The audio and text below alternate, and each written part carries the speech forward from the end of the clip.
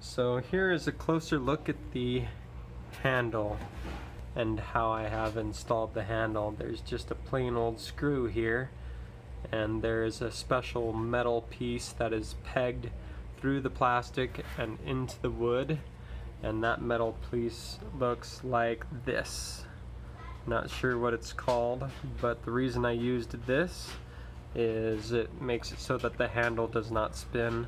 I decided that a handle that does not spin is better for maneuvering the basket the way that I prefer to maneuver it.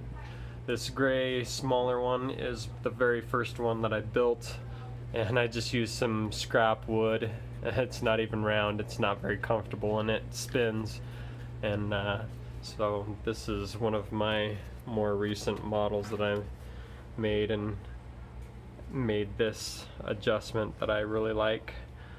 I drilled a hole to make room for this cylinder to go into the wood and found a screw that would fit the hole as well as the um,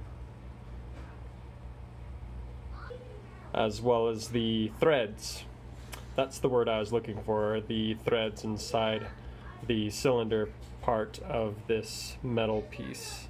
So uh, a drill is going to be nice to have so that you can make a starting hole through the wood and through the plastic for your screw and or the metal piece as well. Um, or you can just use a plain old uh, washer to kind of spread out the weight of the screw that you choose to use.